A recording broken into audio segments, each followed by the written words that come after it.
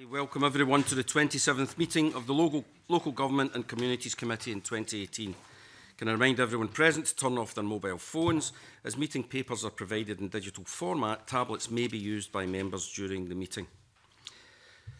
The agenda item one, the committee is invited to consider whether to take its consideration of evidence on pre-budget scrutiny at agenda item three in private. Are we all agreed? Please. Thank you. Second agenda item is pre-budget scrutiny on housing adaptations and the committee is today holding a roundtable evidence session with a number of stakeholders in preparation for the publication of the Scottish Government budget towards the end of the year. We also intend to write to the Scottish Government before the budget is published, setting out some pre-budget recommendations. We cannot do this without expert input, which is why your presence today is so important. The focus today is on housing adaptations. It's also in the wider context of considering the suitability of our housing for the disabled and veterans and for an ageing population and about how this should be reflected in the Scottish budget. So can I welcome you all here today and perhaps we could start off by going round the table and introducing ourselves. I'll start with me and then go round to my right. I'm James Dorn and I'm the convener of the committee. I'm Monica Lennon and I'm the deputy convener of the committee. I'm Jenny Ling and I am representing Aberdeen's um, Health and Social Care Partnership today. Uh, my name is Tony Kane and I'm the Policy Manager for the Association of Local Authority Chief Housing Officers. Uh, Andy Whiteman, MSP for Lothian. Uh, Nora Urick from the Equality and Human Rights Commission. Annabel Ewing, uh, MSP for Cowdenbeath constituency. Mark Fari of Hanover Housing Association. We're a specialist provider of uh, elderly persons housing.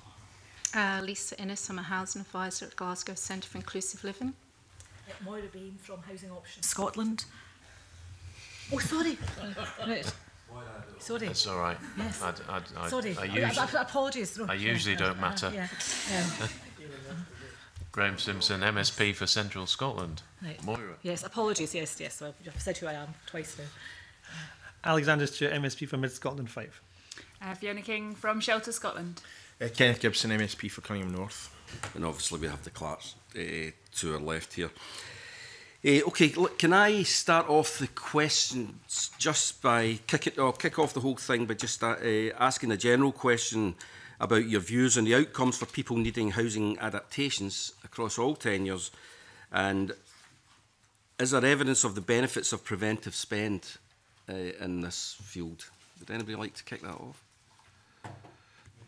Mark off just by um, giving a comment that um, we see many cases where um, prior to uh, uh, one of the most common adaptations that we do, which is the replacement of bathrooms with level floor access showers, previously um, residents may have needed the help of a carer or two to come in and help them bathe, which obviously is uh, a resource from uh, elsewhere uh, in the public sector Uh, once those bathrooms get replaced with level access for showers, uh, in many cases, uh, residents are able to look after their own bathing needs and don't need that extra assistance that comes in. And in most cases, uh, our residents tend to be single people. They, they don't have the benefit of a partner or spouse with them. So um, prior to that adaptation, it does need assistance from outside to come in. Um, after it, it, it doesn't. Thank you. Does anybody else have any views? Or Can I add to that as well about the, the impact actually on unpaid carers of the Uh, the adaptation as well, and um, really needing to consider that in terms of the, the wider aspect of the, the Carers Act, which obviously came in uh, a couple of years ago.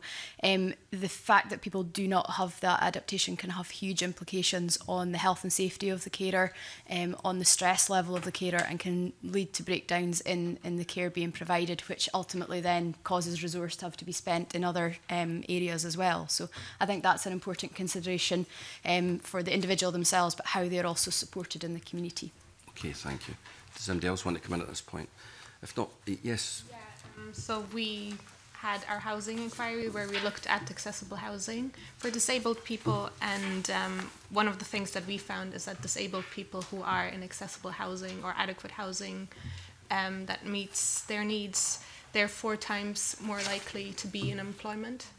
So I mean, it it comes back to what we were saying earlier about how when you spend money on adaptations or on accessible housing, you save money or gain money in other ways.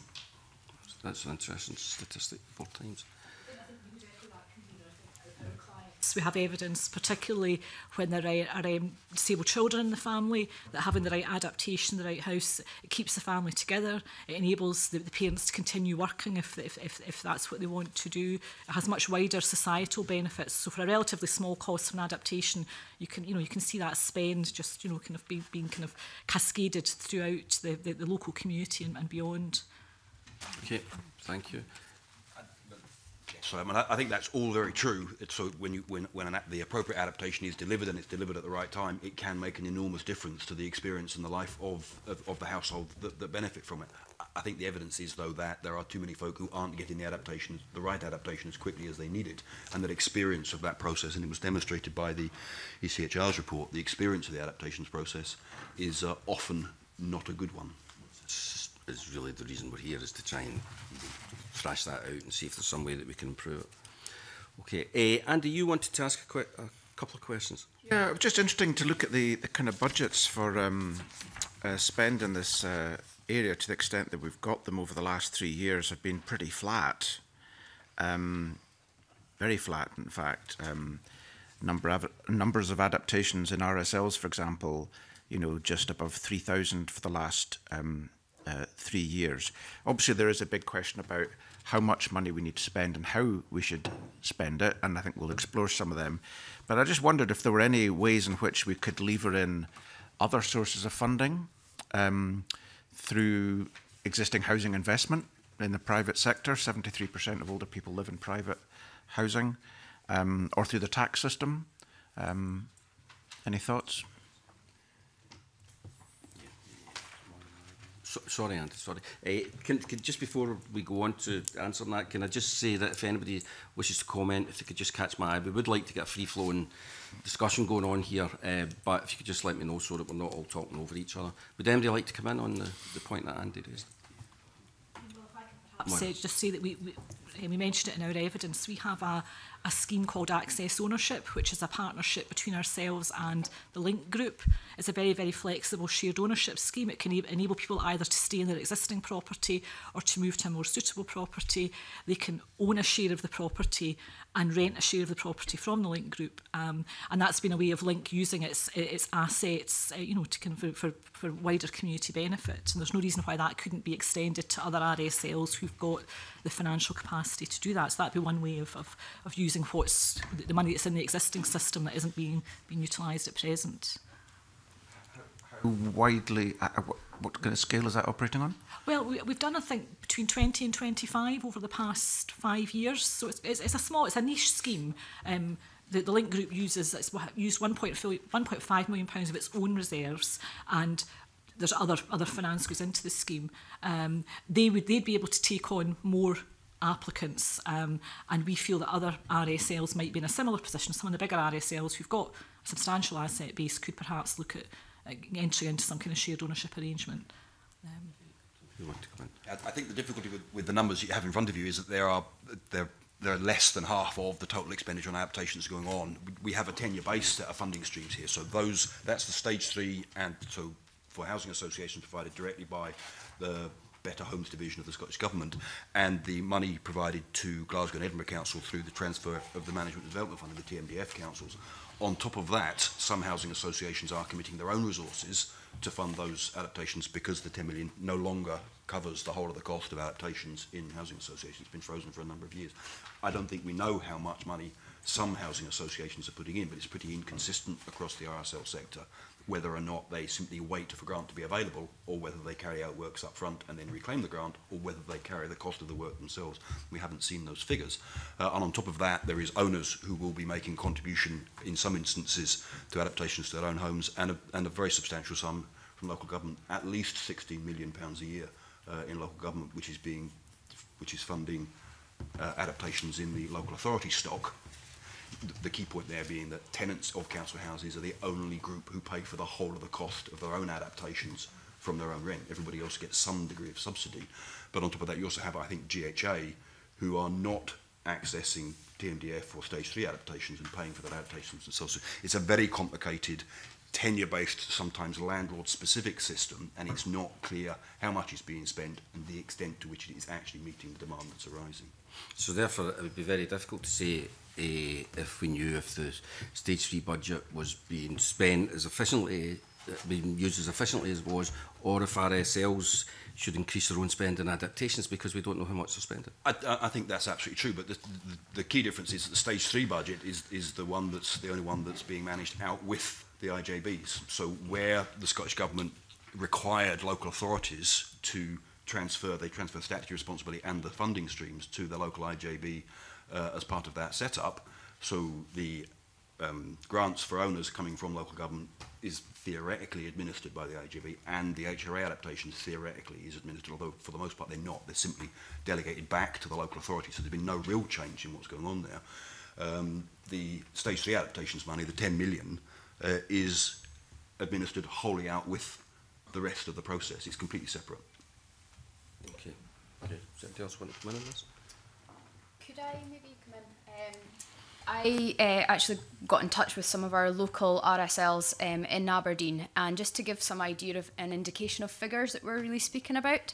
Um, so, if I can use uh, my colleagues in Castle Hill Housing Association, um, they made uh, an estimated budget that they would require for the year at 120,000 um, to serve the properties that they have in the city, Aberdeenshire, and in their Murray areas. Um, what they actually received was 66,000 and that money has now been committed um, at this point in the year. So they're having to look at alternative um, sources of, of funding and things. If you break that down into terms of the local authority area, that's only 22,000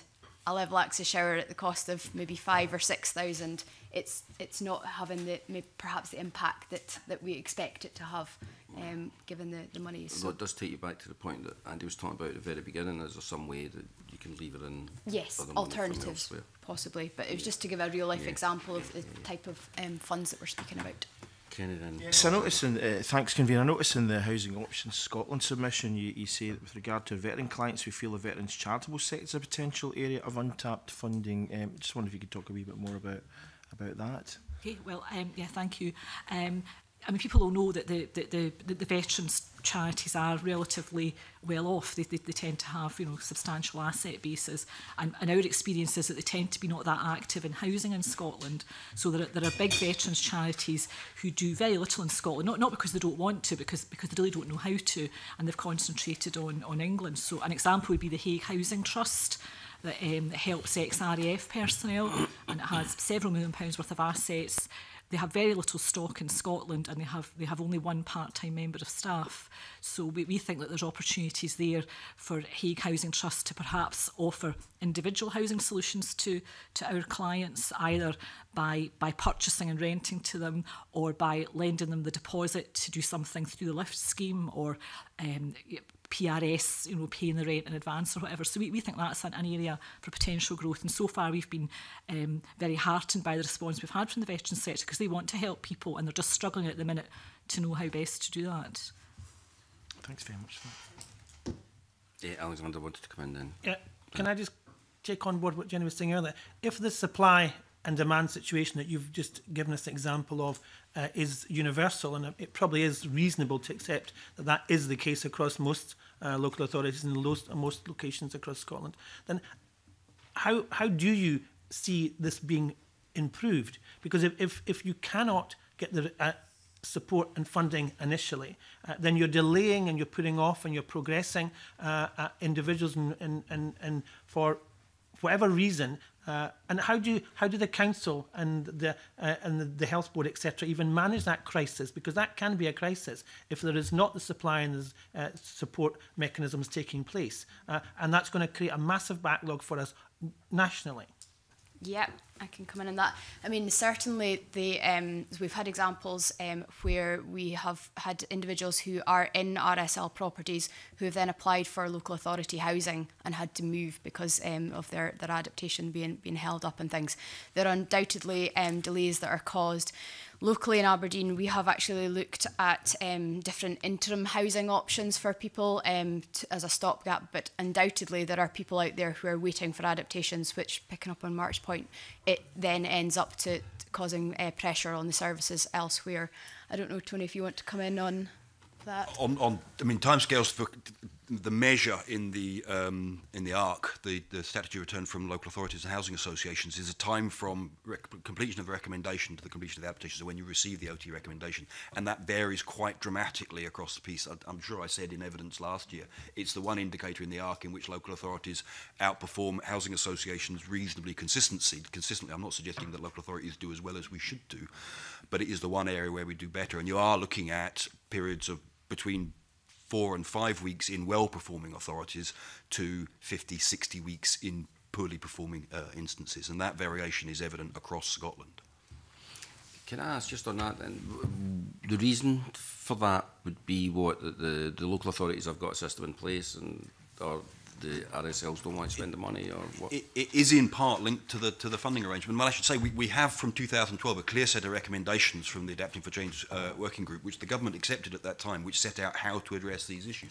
But typically in a local authority, it will be a demand. There, a budget will be fixed at the beginning of the year, but it will effectively be seen as a demand-led budget, and the local authority will continue to spend on adaptations until all the adaptations are done. What you won't get is a point in the year when the budget is spent and the work stops for many associate, typically, I'm not saying university, okay, typically, okay. and, and we, I did some work on this last in preparation for last year's committee, and we went round all the local authorities and asked about their processes and asked about their spend. So, and that was typically the response that was coming back. What you see in some housing associations is slightly different because their expectation is that the adaptation will be largely funded from the stage three um, grant if the grant isn't available, then in many cases the adaptation won't be done until it is available. In some cases, they will carry out the work and then claim the money at the start of next year. So you begin each year in many areas with a big chunk of the grant spent. So that it does result in sometimes quite substantial delays for even quite minor adaptations.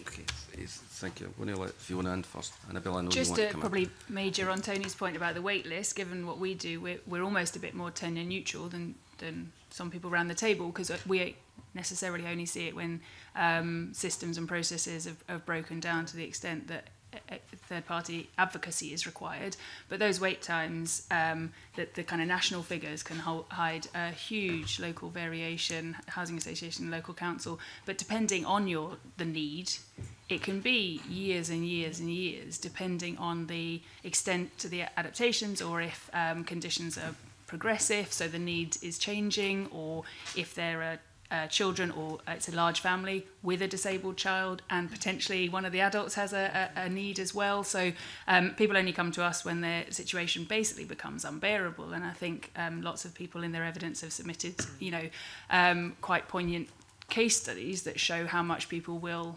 put up with because they've got no choice. But um, that's when the systems are breaking down and the processes are breaking down. And I think um, ourselves and other people around the room, but other disability charities that we work with or who come to us for advice or legal advocacy, um, it, because of the pressure on the system and the lack of funding and the lack of availability of accessible or adaptable housing, it, we're, we're almost in a sort of it's the it's the squeaky nail that's getting the oil. So if you if you if you have an advocate who can push your case for you, that is what is in some cases getting you the adaptation that you need but but there's needs all over the country that aren't being met because of a, a mixture of the funding, the processes, and the complexity of the issue. Because it's not necessarily about time quotas; it's about making sure that a house meets the the household's needs, not just in the very very short term. I think that's the difficulty with with some of the disabilities and and the aging population, and uh, it's quite a um, complex thing to meet the needs currently, but then also uh, future needs. You don't want to meet a, a, a, do an expensive adaptation that is not going to last the year or two years or three years. Okay, uh, Mark and then Annabelle, because I know you want. Thank you. Just to um, uh, working for a, a housing association myself, Hanover, uh, I can talk about the, the, the stage three claiming experience and bidding experience to flesh out what Tony and, and other people were saying earlier. Um, I, I think if you were able to look at the exact figures, I think you'd find that generally speaking over the last three years that in aggregate, housing association bids for adaptations in anticipation of the demands from the waiting list they already have and the extra applications or referrals they expect during the ensuing year have probably been had to be cut back by about 40% to square off with that 10 million pound budget.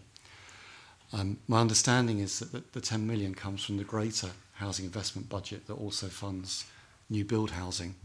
Um, other things to um, just, just brief you on in terms of figures. Um, yes, we do fund some ourselves. Um, the, the more minor ones like grab rails up to two or three hundred pound, we, we, we go ahead with ourselves once we get the referrals from the OTs. We don't wait to um, make a call on stage refunds for that. Yes, we do, in many cases, fund ahead ourselves in anticipation of getting an allocation the next year. Um, so we cash flow to, to, quite a large extent these um, installations. Um, we don't generally get announcement of our allocation compared to what we bid for until about June. Now, I don't know whether it's possible to bring that forward a few months to the start of the year, but that, that would certainly help us knowing what, what we can program for, for the year. And just looking at the last full financial year, 17-18, that we've got figures for, um, the average waiting time between us receiving the referral from the occupational therapist to be able to complete the work was 217 days. And uh, the previous year, um, it was less. It was 193 days, and the year before that, in 1516, it was 134 days. So in, in our particular case, and I'm not claiming this is exactly the same in all housing associations, over the last three years, there has been about a 50% increase in the waiting time between the occupational therapist referral and us being able to complete the work. And what would you put that down to? Beg your pardon? What would you put that down to? Um, there's probably no one reason.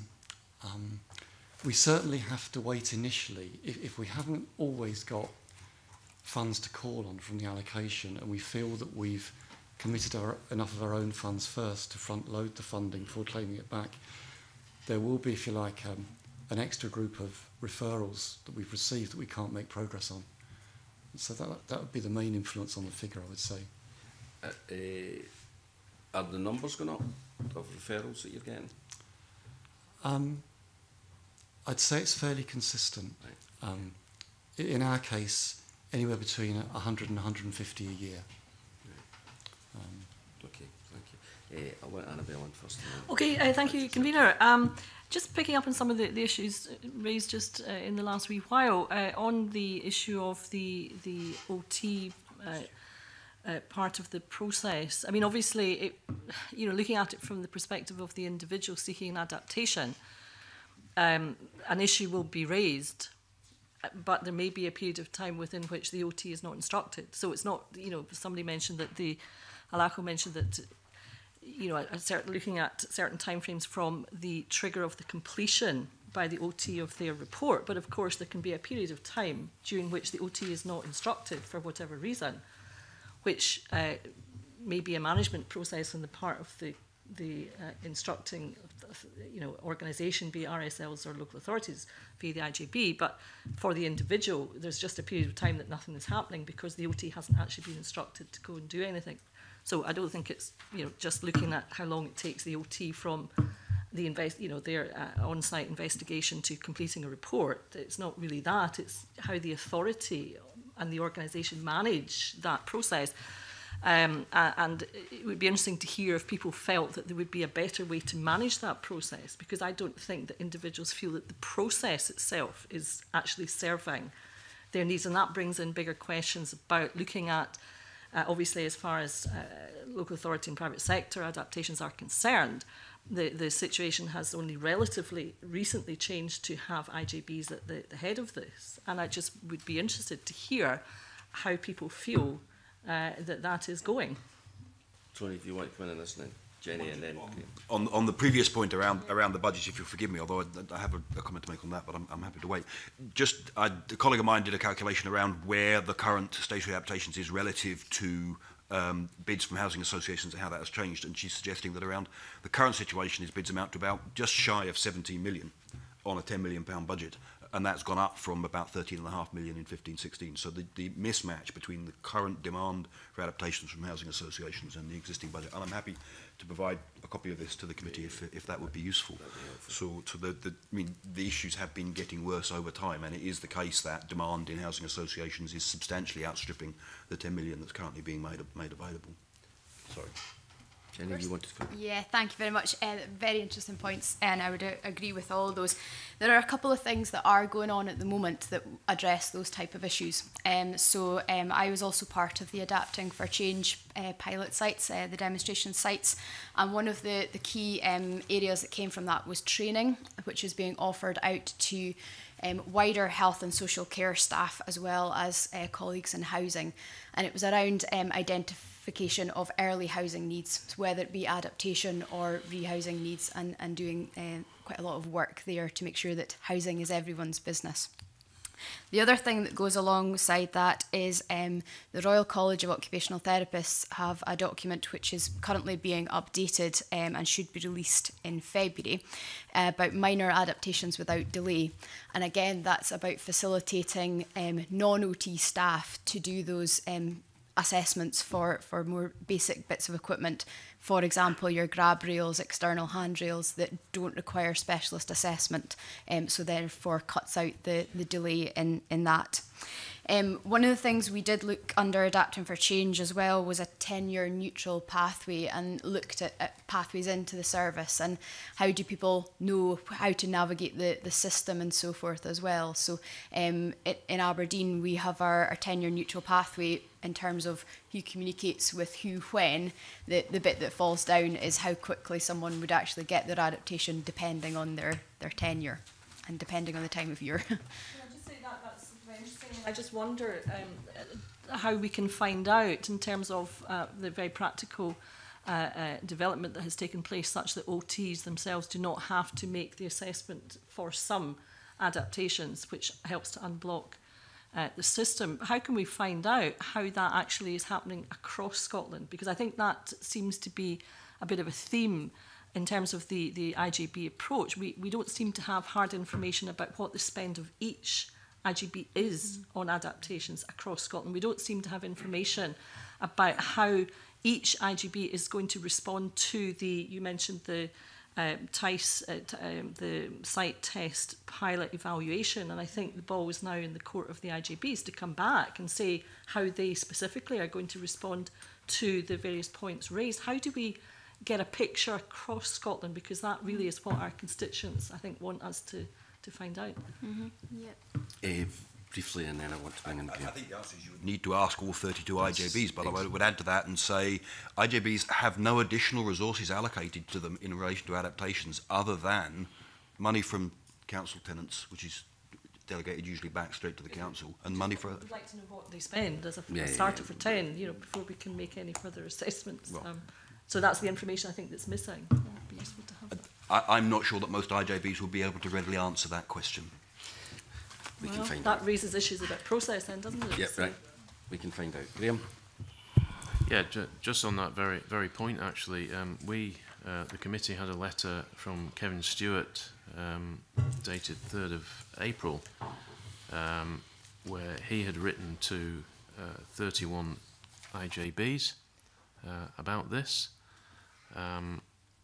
uh, Mr. Stewart said uh, in April, 23 replies had been received.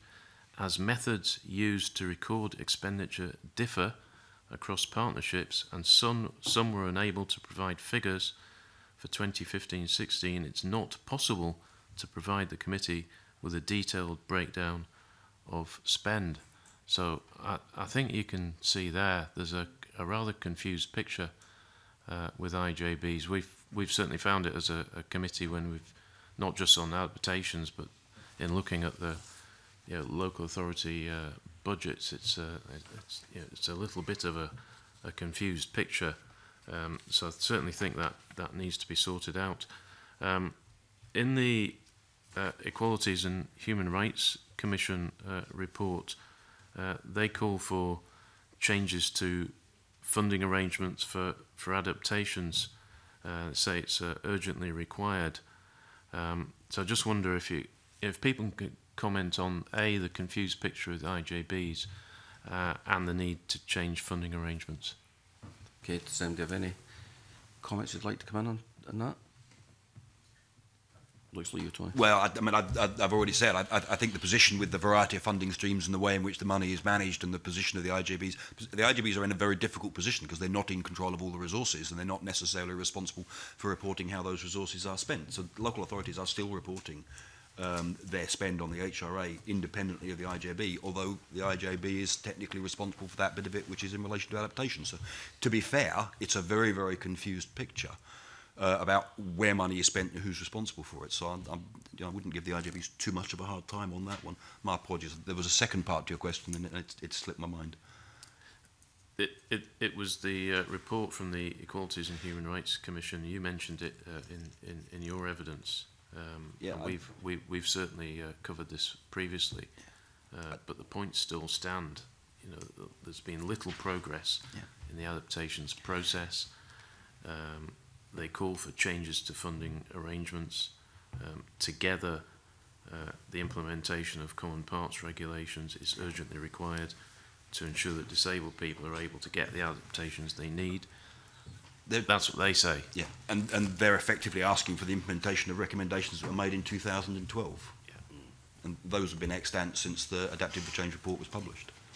So presumably nothing's happened since 2012. We, we don't have a single tenure neutral funding stream to support the allocations, for the adaptations process. And I think the other thing that's interesting about the ECR's report is if you look at how it describes the experience of clients going through the adaptations process, it precisely mirrors the way that experience was described by the Adapting for Change Working Group in 2012. So there's been, there appears to have been very little change on how people feel about the adaptations process that they experience, but also the way in which the key elements of it are organised, and particularly finance. It's not moved on.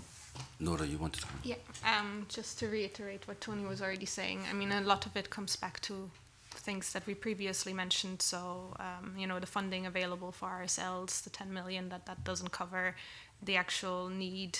Um, then that you have different streams for different tenures. Um, so it's a wide variety of things, but yes. Um, and then with the common parts, uh, I should say that we, um, every six months, somebody in the legal team at the EHRC writes a letter to the government to ask about the common parts regulations. And um, in a recent meeting, we've been assured that they are working on it, but it's taking a long time. Uh, so I think we'll see something at some point, but um, it's something that we've been saying for a long time, and not just us, a lot of other people as well. Are you able to share that correspondence with the committee? Um, I don't know. I'll have to ask. it may be helpful if, if you can. Thank you. Does anybody down the site have any comment to make, Lisa? Um, it's just a general comment. Obviously, I do advice work, and it's a bewildering process, I think, for clients. They've got so much going on in their lives to try and sort of, I don't know, go through the adaptations process themselves. They're kind of a bit lost with it all. Um, so I think um, blown around trumpets a bit and other um, advice organisations, I think we're an important part of doing sort of hand holding and helping people through it. They maybe get so far and, you know, an obstacle, there's no money or what have you, or um, an adaptation can't be done at all because they need to move. Um, and what we find as well, even if adaptations are being done, sometimes there can be de a delay while they're getting done because there can be poor workmanship. So we'll go and see someone well, we've had a wet room put in, actually the water's not draining, we're having to wait six weeks to get fixed, there's no overall person in charge of it, so they're sent here, there and everywhere. And I think, you know, we work with a vulnerable client group, um, and I think that has to be taken on board. And I think it's all very well if someone accesses us for advice, but I think there are an awful lot of people out there that kind of give up. So, can I just clarify there when you say there's not one person Eh, overseeing it? Are you saying then, for example, the RSL or the council would say the work's getting done, somebody would come and do the work, yeah. but then if that doesn't work, somebody else has got to I think be responsible no, there can be a lot of contractors involved yeah, yeah, in it, and oh, they need to come. Well, actually, they need to come, and I think you know people say to us, "I've made phone call and phone call," and it's sitting there. It's really frustrating because I've got a wet room that I can't actually use at the moment because I'm having to make phone calls. People don't turn up, etc these makes, and it is a source of incredible frustration to my constituents in, in Cowdenbeath mm -hmm. constituency, and I'm sure uh, those across Scotland. And it, it always, you know, raises the question, looking at this issue from the other side, what is the, what is the supply arrangement in place on the part of RSLs? I mean, is this a lot of money? And we want to ensure that it's being spent properly for the benefit of the people uh, who should expect this service. So what are what are the arrangements in place on the part of each IGB, each RSL in terms of getting this work done? How do they approach that? You know, how seriously do they take it? Is there a clerk of works? What happens when something doesn't happen that should have happened? How quickly is that rectified? These are really important practical questions, uh, convener. I think that we should be trying to to get to the bottom of. Uh, and can I ask you that you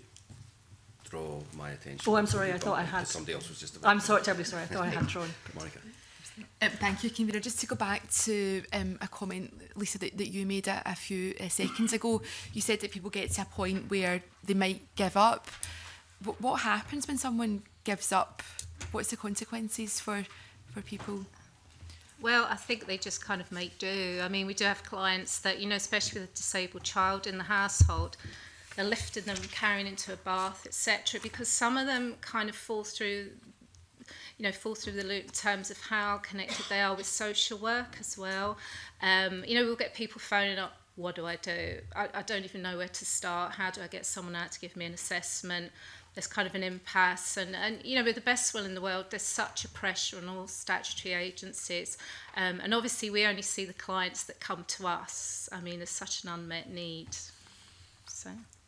Okay. I just wondered, um, convener, if, if you know if there are people who who give up or they don't continue to fight for the case if then the, mm. the waiting times that, that we see don't fully reflect the, the level of need. And again, mm. just if I can come in, I was struck by um, Shelter Scotland's written submission because Fiona, you mentioned the case study of Linda, and some of us heard from Linda in Parliament um, a few weeks ago at Shelter's um, reception in, in the garden lobby. And, you know, we're hearing mm -hmm. people who are, who are trapped in their, in their own homes, albeit whether it's temporary accommodation or otherwise. And I think the um, EHRC Commission report or, or your inquiry talks about some of these extreme cases of people waiting more than a decade. I think in the most extreme case up to 18 years. So we've got the the current needs that we know about and there's that mismatch in resource. But sitting here, we need to think about the longer term as well because we know that this this need is only going to increase. So are there ideas? you know, beyond just funding, which we've talked about already today, but looking at, you know, building standards, looking at planning to make sure that, that we are building homes for the future that are going to meet all of our needs, because any one of us could become disabled um, and need accessible housing. So, you know, what are the ideas around that? Fiona, do you want to come in and ask? Yeah, I mean, I think, thanks Monica for, for raising those kind of case studies. We included a couple of the many that we have, and I'm sure other agencies could speak to similar kind of levels of, of case examples.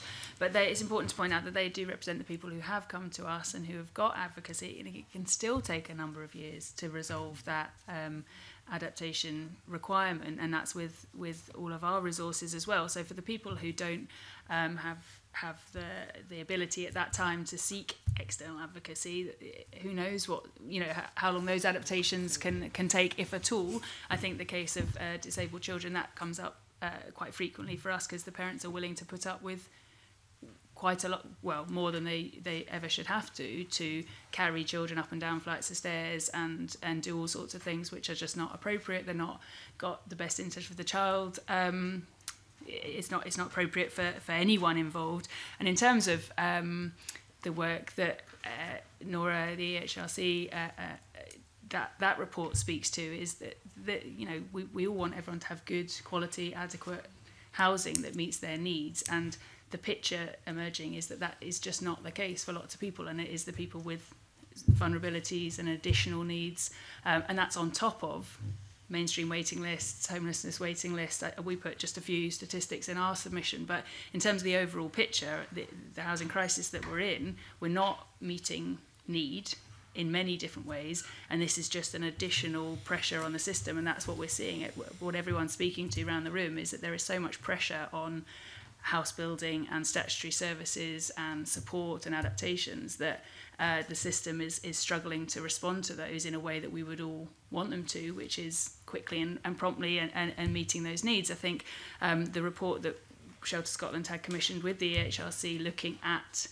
um, all 32 local authorities' strategic housing plans showed that essentially the 50,000 target for, for um, new houses will, will most probably be met according to the plans and what have you, which is really, really positive, and that does represent that step change in affordable housing supply. However, uh, chiming with what other people have said about data, there are gaps in the data, and I think the headline was very positive from that report, but the, the kind of subheading was the is quite quite murky, and it, that was a quite a sophisticated bit of external research, and that was all they were able to pull together. There are gaps in the data about what what housing is being built, where, for whom, what the what the profile is, um, and I think without really improving the, the data on the need, but also on how we're meeting it, there is going to be this mismatch. It's a, we know that roughly 12% of the housing that's going to be built by 2021 will be specialist, but we don't know much more than that, and that covers quite a, a broad spectrum of need based housing, but it doesn't all mean it's accessible or wheelchair access. So, without more detailed breakdown of those figures, it's quite hard to match need with the right housing housing stock. And I think that's that's probably all, everyone's got case, cases that show that showing the symptoms of the housing crisis. Uh, Nora and then Mark. Um, to sort of follow up on what Fiona was saying, so um, because of the one of the things that um, the report that Fiona already mentioned, the one that we commissioned together with Shelter, um, one of the smaller things that the report uh, mentioned was actually the impact of Brexit and the fall of the pound, or the value of the pound, and that that's already had an impact. So, for example, when we look back at the funding that's available for RSLs, the 10 million in the coming years, obviously it depends on what happens with Brexit and how that goes, but it's likely that that will have a huge impact not just because of the fall of the pound and because that means that materials get more expensive for the construction industry, but also um, the impact on the amount of workers we have in the construction industry. So, I mean, looking sort of towards the future, there um, a large degree of uh, there's a large degree of uncertainty, and it's not looking very good. And when you already are in a system um, where you're experiencing increasing problems, you know, increasing waiting lists from year to year, like what um, Mark was saying earlier with his example, it's that's all going to get a lot worse, or at least that's what it's looking like at the moment. And you really need to have that funding available to meet those needs. And on top of that, you obviously have the increase in demand that we're likely to see. So um, in our inquiry report, we highlighted that over the next five years, there's likely to be an 80% increase in demand for wheelchair accessible housing, which is obviously a huge increase. And that's um, part of the reason why we've called for a 10% national target. Okay, thank you, Matt. Thank you. Um, one thing I would add is we, we have a, a small new build programme each year of maybe 60 to 100 houses each year, which is funded by the Scottish Government in part partly by ourselves. For many years, probably 15 to 20 years, one of the conditions of Scottish Government funding has been meeting a document called Housing for Varying Needs, which means that all housing associations that are funded by the government for new build housing have to meet standards in there. And to give you some examples, it, it talks about when you're designing new houses that there's a turning circle for wheelchairs. It just needs a bit more on the space standards. The doorways are wide enough. So there's an element of of future proofing, even if the first resident that goes in there isn't using um, a wheelchair. Um, the other thing that we're able to do, and again, it, it's very much a success story and working hand in hand with the government funding, is that if we do receive notification, or say we're building bungalows, of clients that have a particular adaptation need before the die is cast on the design process, we can, for instance, if someone needs the ceiling strengthened because of a tracker hoist to take them from a bedroom through to a shower room. We can get that built in.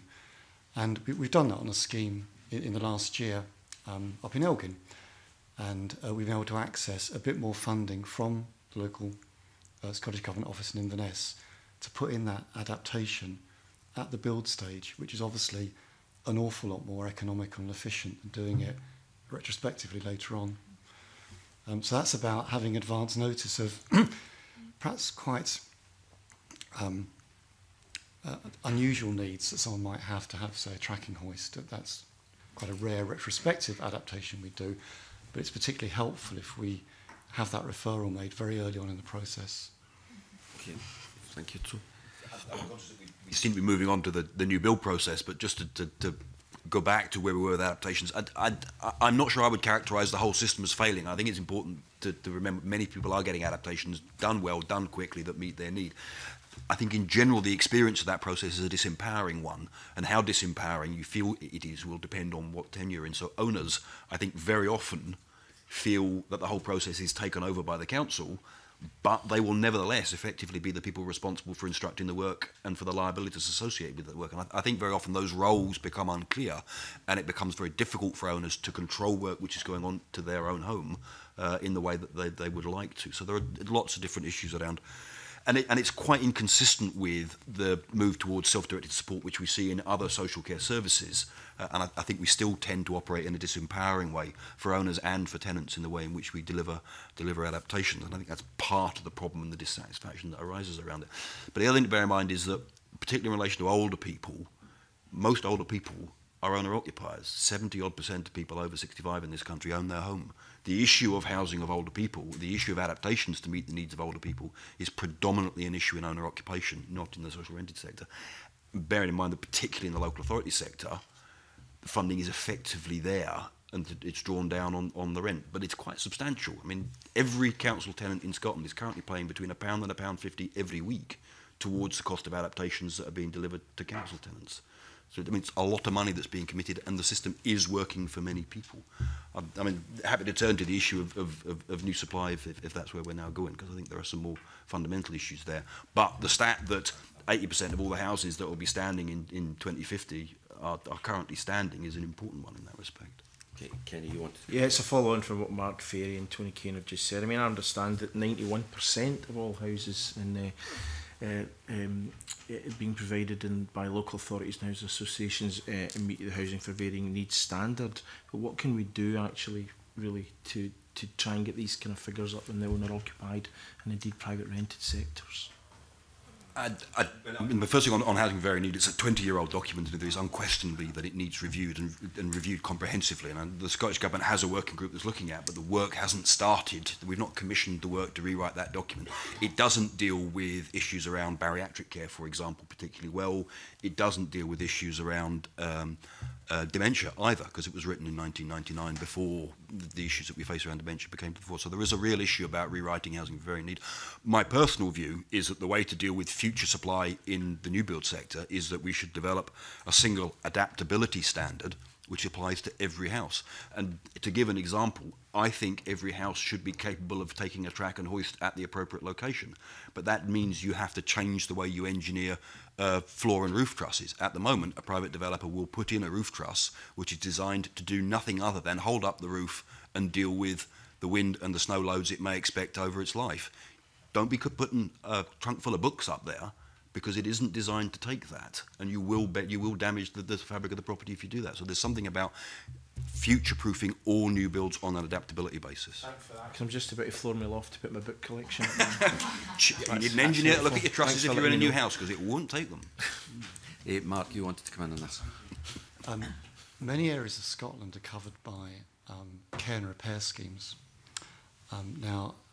um, I was involved with one for about 25 years between the early 90s and, and a few years ago.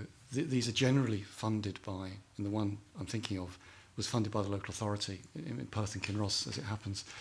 And over those years, virtually all, all the work of that project gravitated towards private sector adaptations, and it was a free service guiding clients through the adaptation process. And again, like our experience uh, as a housing association, most of the work was level access wet floor showers. Uh, now, um, uh, uh, maybe other people here today can um, fill in some of the gaps for me, but I believe that most of the country is covered by care and repair schemes, that it is a free professional service that's intended to guide clients, elderly clients in the private sector, predominantly homeowners, but some long-term private sector tenants as well, through the process of getting an adaptation fitted. Um, and I think my experience with the project in, in Perth and Kinross would generally be replicated at other care and repair projects um, in the country. Can I just Kieran Repair. I, mean, I, I was a great fan of Kieran Repair in the 1990s. I was a Glasgow councillor and I did a lot of work for my own past. But the, in some areas of Scotland, the, the grants available are actually so minuscule that people just don't see the need to apply, the, the, the point of applying for them. I mean, they can be under £100, for example, and a lot of people think that the rigmarole going through Kieran Repair is, uh, is is is too much for the for the likely uh, grant available. Is it, uh, do you think perhaps it should be looked at again, and there should be a consistent standard for care and repair across Scotland in terms of grant availability and the kind of things that people can apply for? Because it it was a great scheme, but it's just been diluted by the reduction in the value of the grants in some areas. Um, I, I think that's correct, and um, it would be the case that, um, in my experience, a majority of the cost of the adaptation was met by the client themselves. Um, but where the Care and Prayer project did come in and was an advantage was just the professional consultancy service they gave to guide people through so that they avoided the cowboys and there weren't the, the kind of post completion defects that then held everything up. Um, um, so, yes, it, there was a mix of different funding, funding ratios that, that clients had. Okay, thanks. Alexander? As a, a previous councillor in Perth and Girls Council, I'm, I'm well aware of that, that scheme that you've mentioned, Mark, uh, and it really was very successful. And you've identified some of the, the areas that were seen for the clients to be improved and, and they felt secure, they felt safe in the process of going through some of that because they were identifying uh, individuals, organisations that could support them. Uh, but, but as, as my colleague has said, if the, the grant system is an issue that falls into that too, and that, that then becomes a difficulty going forward. But I think that the, the precedent that was set and the, the, the standard that was met uh, is a good standard to have, and that could be replicated and should be replicated across uh, uh, other parts of the, of the country to see what can be achieved. But the biggest issue uh, as we've said at the very beginning, is the, is the financial resources and the implications of that process uh, and ensuring that the, the, the supply and demand is there. Uh, we know that individuals need that support uh, and that can get that support. And that, that project gave us a real opportunity to see what the real demand was out there. Uh, from other clients in the in the base, uh, and that there was a huge opportunity uh, uh, that it can develop. But it's, it's it's sustaining that going forward, and your views uh, would be quite useful to see how that how you think that could be managed part of the funding mix, in, in my experience, was applications to charities, which were sometimes um, successful. But uh, if the truth be told, it did rely more on someone's personal resources to meet the cost than anything else. Um, so that that would be my answer. That's a barrier to the whole process if if if if if it's the requirement of having something and not having the financial resources or having the financial resource uh, that you have to then uh, fund it fund it yourself to make that actually happen. That, that was experience, yeah. Okay. Yeah.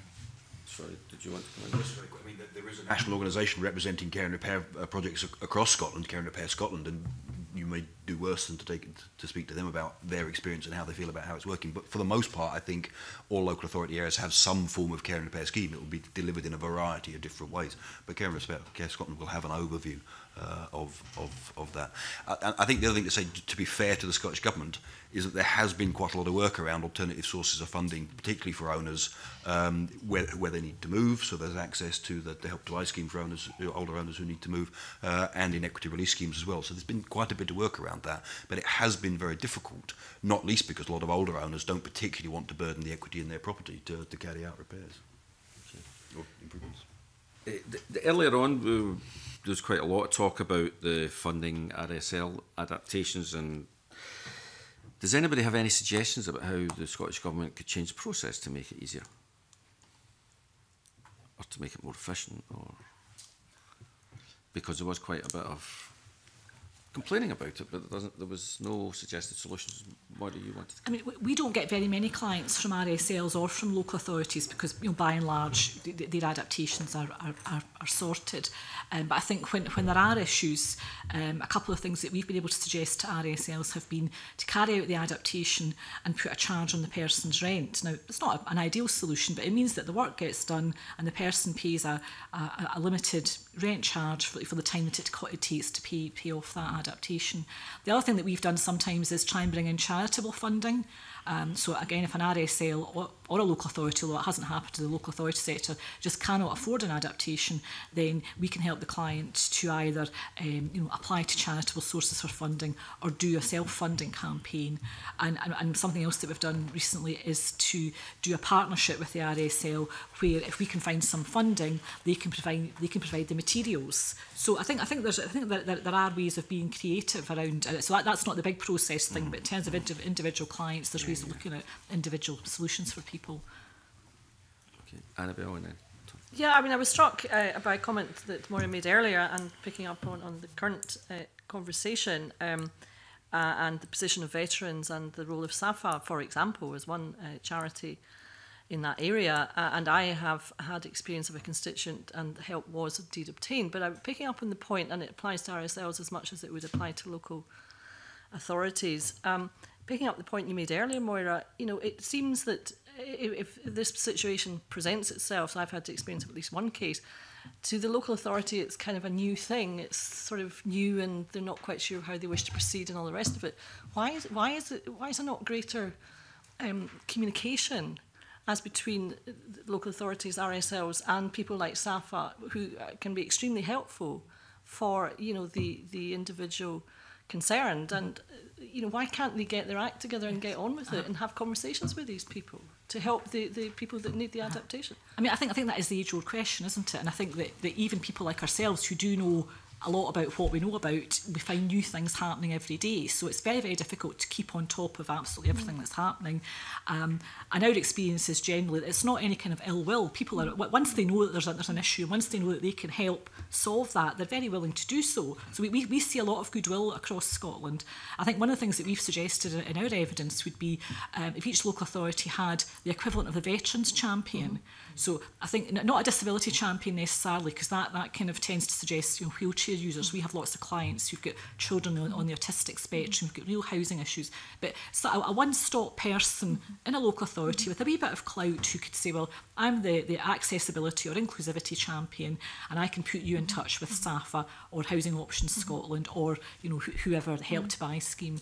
Um, and I think for a, very, a relatively small investment, if you had you know one person per local authority, that would certainly make a difference in that kind of bringing mm. people together, the, the, the bigger picture. Mm.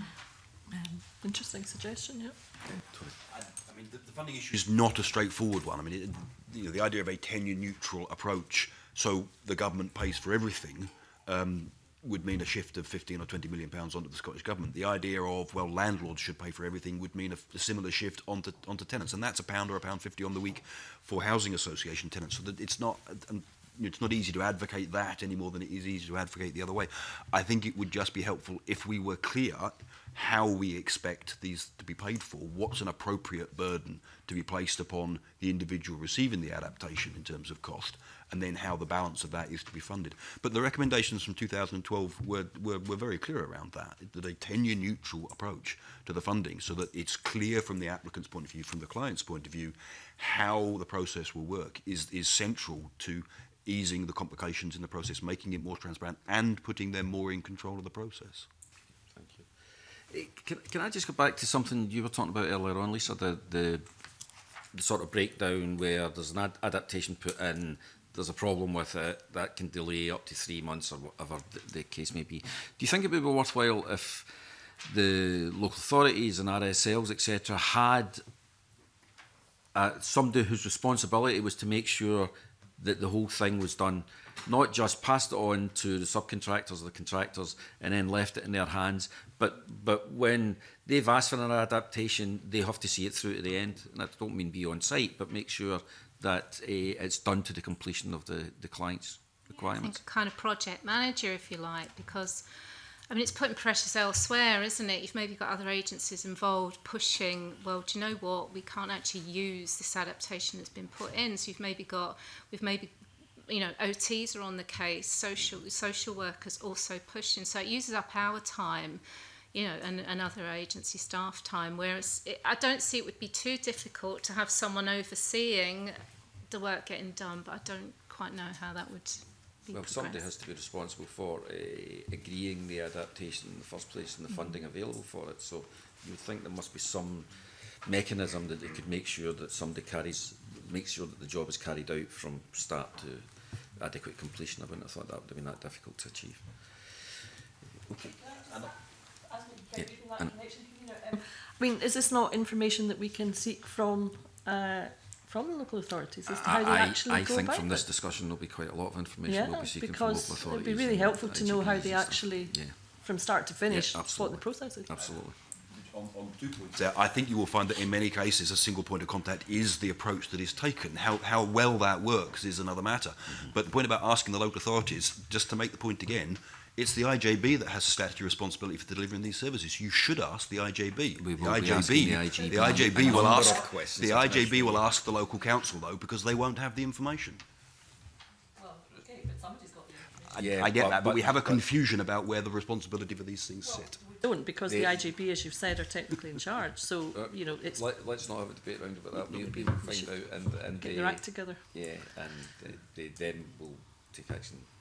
according yeah, no, Okay. Uh, Graham?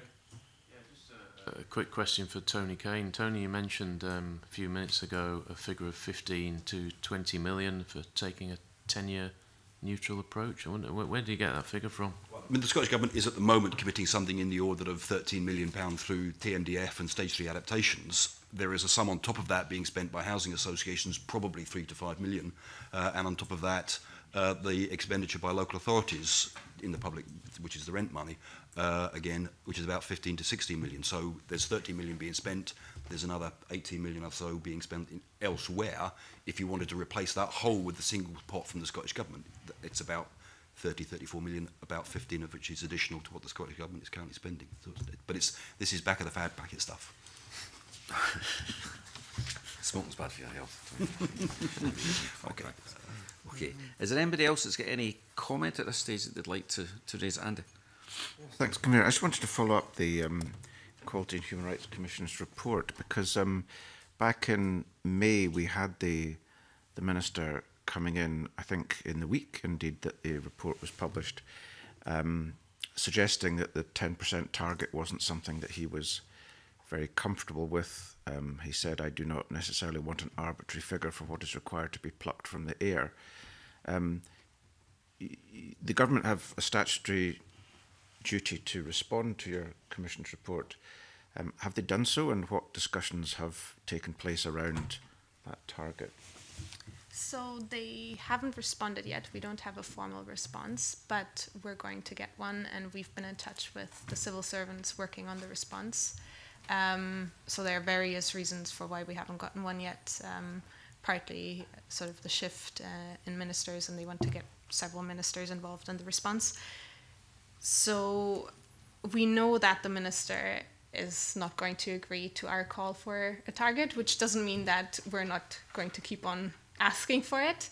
Um, but what we've tried to do now is to look at some of the other recommendations that we've had uh, following the report. So um, at the end of the report, there's a list of recommendations, and the national target is just one of them. And we will keep pushing for it, but there are also other uh, recommendations that we want the government to look at and that we would like them to respond to. And, and why do you think that 10% is not going to be a agreed to, given that we've heard the work that housing associations do to future-proof their homes, it seems reasonable that all new homes should be future-proofed with regard to the changing needs of people using their own home. Yeah, I completely agree. Um, and that's why we're going to keep on pushing for the target. And I mean, it's important to note that that's supposed to be a minimum. It doesn't prevent local authorities from setting, you know, much higher targets. And we would love to see that um, my comment about the minister not agreeing to the target was more sort of based on what the minister has said and what the civil servants have said. Okay. Um, but yeah. And um, coming back to the point Tony Kane made about essentially pooling funding, I mean, if you look at things like energy efficiency, I think the public have got a reasonable idea now about where to go for that.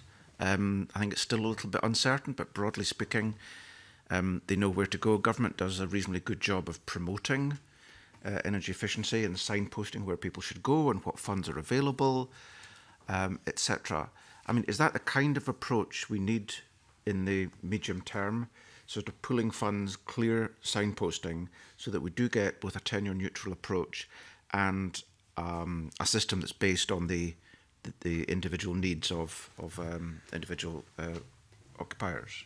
I, I, I, think it could be. I think the difficulty, though, is that it would be inappropriate to take rent from tenants and spend it on somebody else's home. So hmm. the ring fence that sits around at the HRA and should sit around uh, housing association tenants' rents means that that money needs to just be redirected to, to those properties.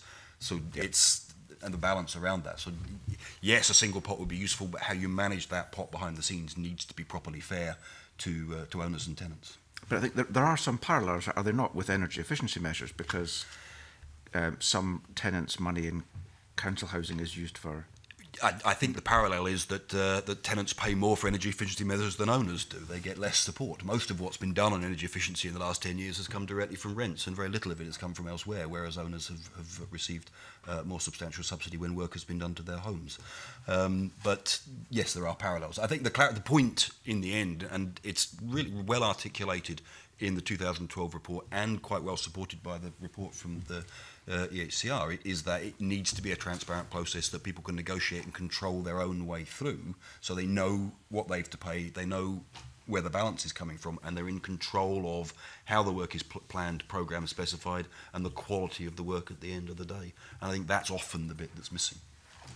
Wanted to come in, yeah, it was more to go back to the HRC point, but um, I think the 10% probably wandering into my personal views, I'd always defer to Tony and others on housing association and, and council finances. But given the needs profile and the ageing population projections and the wheelchair projections and things, there does seem to be a huge disparity between current and future need and what is being provided. I don't know whether it's 10% or 20% or whether a target is the thing, but there does need to be a drive towards trying to build houses that are accessible or adaptable in the in the medium to long term because and I think maybe it's a bit of work around the ROI of doing that because it, I appreciate for house builders who are already under a lot of uh, pressure with the upscaling of the house building program that it's very expensive and there's a lot of issues with delivery of the 50,000 uh, in quite a short time scale anyway but it, there's got to be some work done to show that that longer term there are savings across not just housing but other other um, parts of the of the public sector picture health and social care most notably in terms of keeping people in their homes for longer and reducing, as Mark was saying, the kind of um, care and support packages in people's homes. So I think um, it needs to be looked at how we how we future-proof the house, houses more fully than um, individual pockets of kind of good practice because I think what all the reports show is that it's very very um, inconsistent. So there's a lot of good um, developments that are, are going far beyond the 10% and others where there's barely any accessible housing being built. Okay, thank you very much. Um, once again, just back uh, Nora's point, as an organisation, we're very much in favour of at least 10% of um, new, new builds to, to be wheelchair accessible or adaptable. I think um, kind of what we're a bit concerned about setting local level targets because on a general general point. A lot of local authorities don't really know the demand within their own areas for accessible housing, and that's kind of why we're saying sort of 10%. Um, and it does vary a lot. I mean, Glasgow has committed to sort of 10% level for, I think it's units more than, more than 30 units. So, but as we say, some local authorities, it's, it's really low. And I think it's just the information they themselves have. Um, just generally reading reports, it can be quite sparse. And they, if they don't realise the demand in their areas, mm. it's quite difficult for them to set local targets. How, why don't they realise the demand?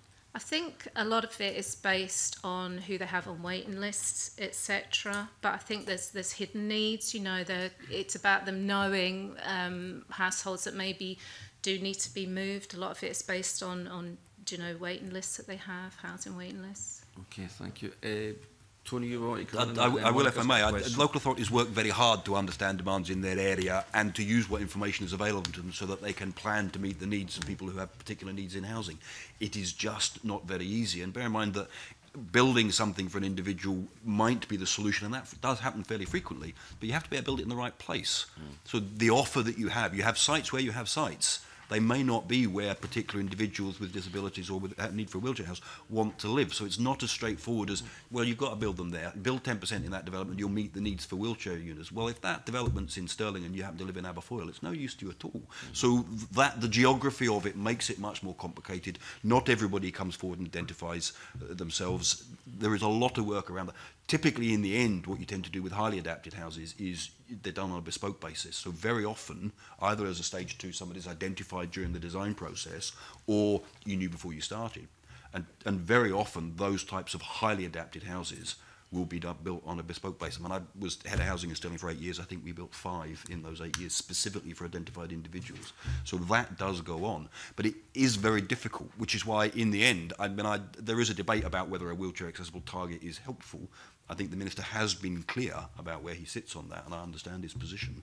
Um, my preference would be if everything was built to a, an appropriate, adaptable standard in every tenure, then going forward, you would you would have a solution. Okay, thank you, Monica.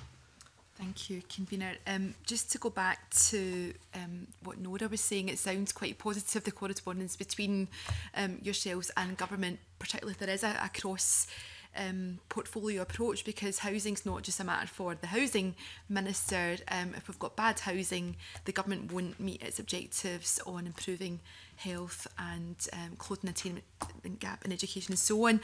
Um, I noticed that, that one of your recommendations, one of the HRC's recommendations is for local authorities to meet their duty to publish their equality impact assessments alongside their their, their SHIPs or their strategic housing investment plans. And I was looking in your report and you know, it's quite disappointing to, to read, and this was back in, in May this year, so there may have been progress, but in the EHRC survey, um, local authorities were asked how they dis discharge their equality duties, and only 41% had carried out equality impact assessments on their local development plan. And this committee is looking at the, the planning bill at the moment, and we've raised these similar issues. So I wonder, Nora, if you can speak to that, if there's an update on that that, that ask in your report, and maybe from Tony, um, because we've just talked about the importance of mainstreaming equality, but it sounds like there are some real barriers on the ground to to doing that work early on in the process. Um, I mean, we're working on the follow up on the inquiry at the moment. So we're looking at uh, things that we can do in the future to sort of take that forward.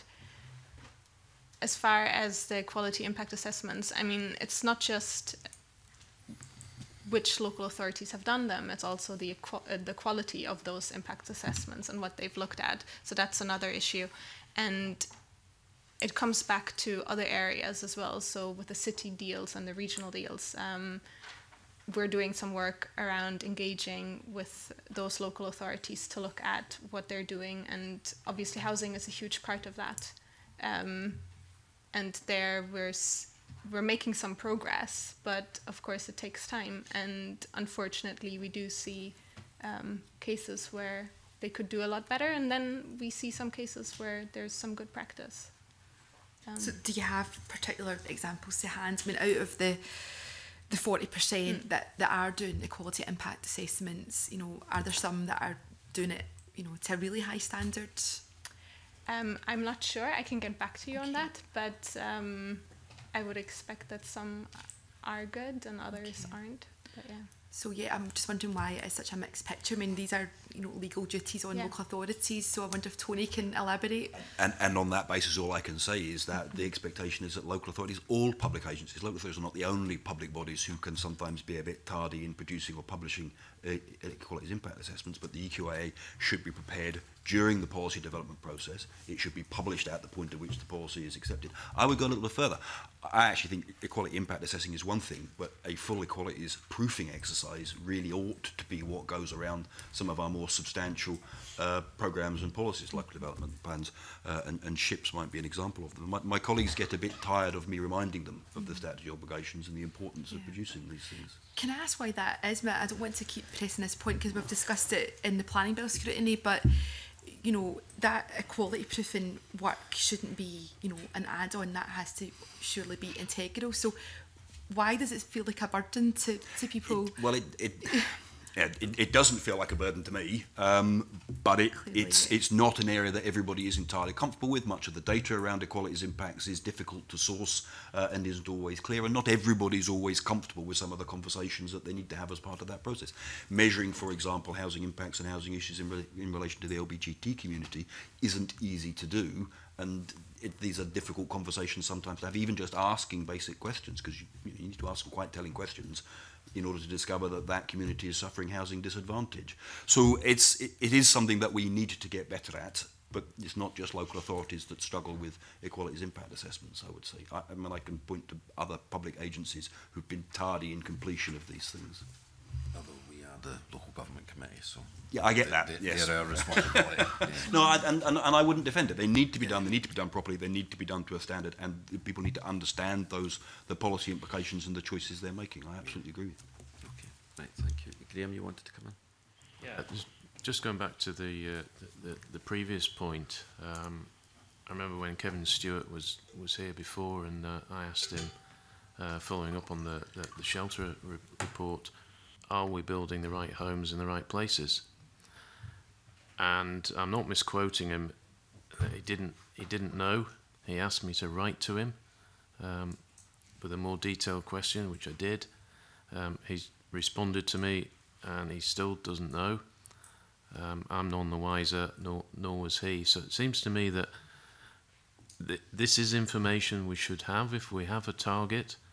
Um, we should know what is being built, where it's being built, um, are the right homes being built in in the right places, and I accept the difficulties that Tony Kane has uh, has outlined, but uh, it's not an excuse to say it's difficult.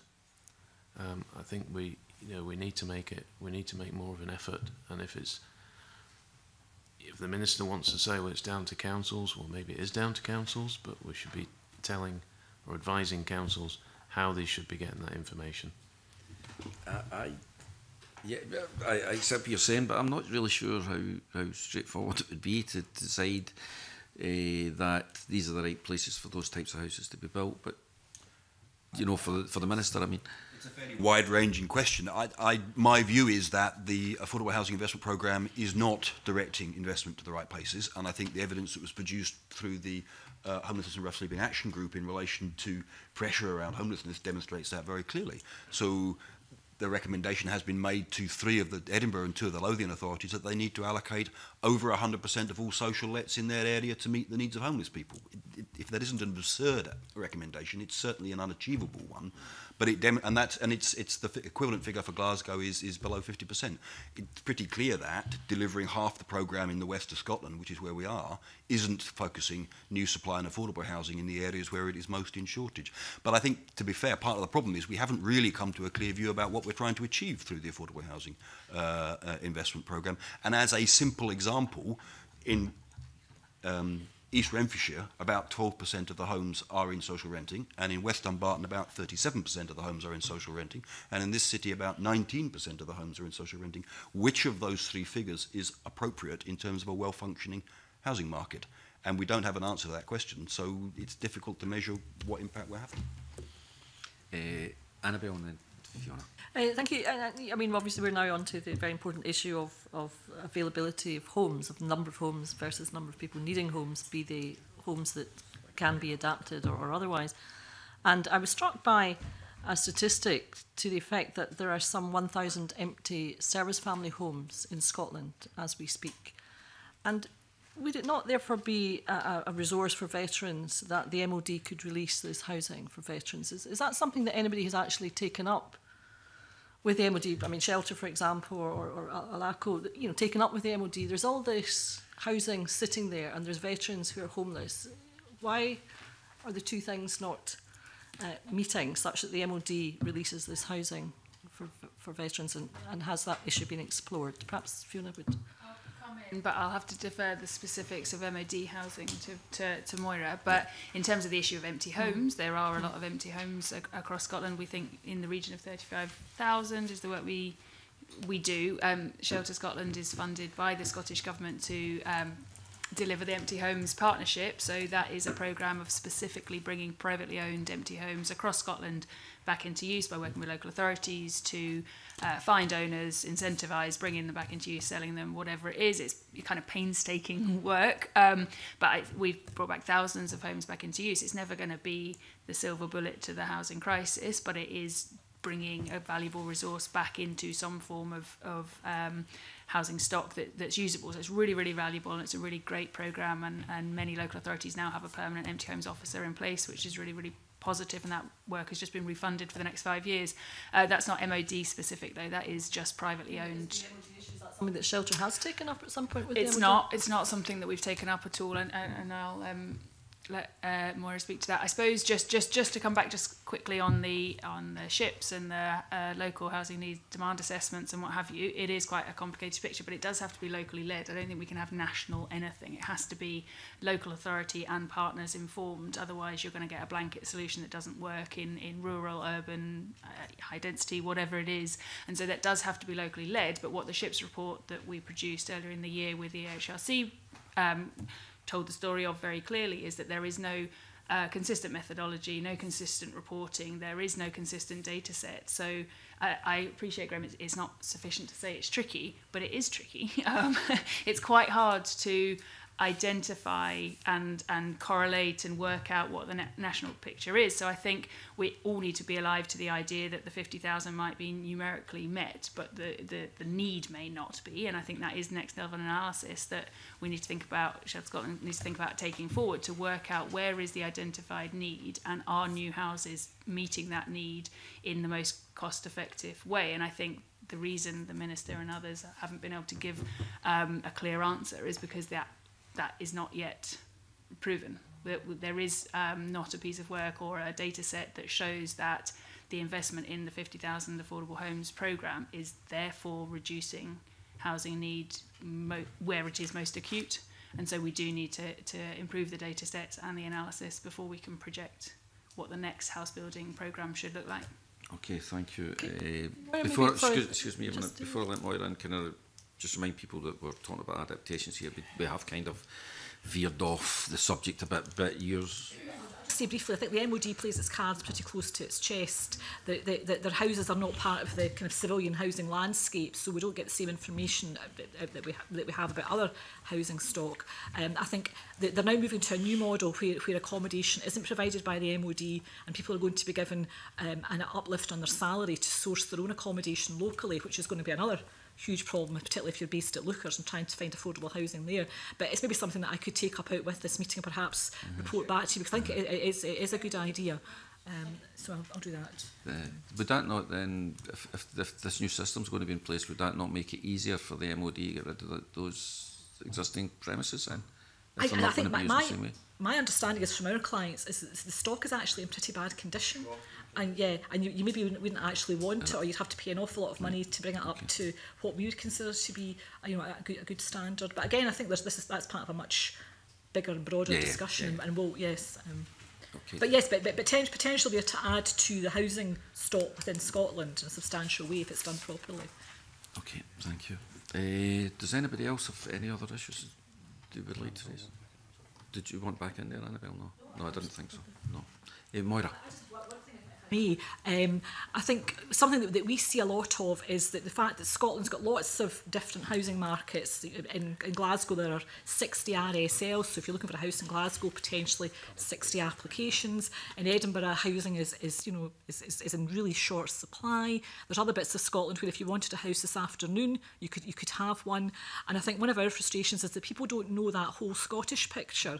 And there are some people. We, we have a client who moved recently from a, uh, a third floor flat flat in Inverness to a wheelchair adapted property in Greenock. He was very happy to move to Greenock. Nobody in Greenock or the local area wanted this house for whatever reason. So I definitely think that although adaptations are something that we need to look at, I think that there is, a, there is potential that we're spending money on adaptations that we, we could actually look at another solution and either leave that house for somebody else who needs it, doesn't need it adapted, or adapt it for somebody else. So I think that if there was a way of encouraging people to look beyond their existing local authority area or into an adjacent local authority, you might just find that the adaptation spending be becomes more effective because we're spending it where we really need to rather than just because there's a, a kind of current crisis that we need to, to spend on. That's just something that, that we've, we've found very powerfully from our clients. Okay, thank you very much for that. Uh, I think that's us finished with the questions. Is there anybody who would like to make any final comment before we bring this session to a close?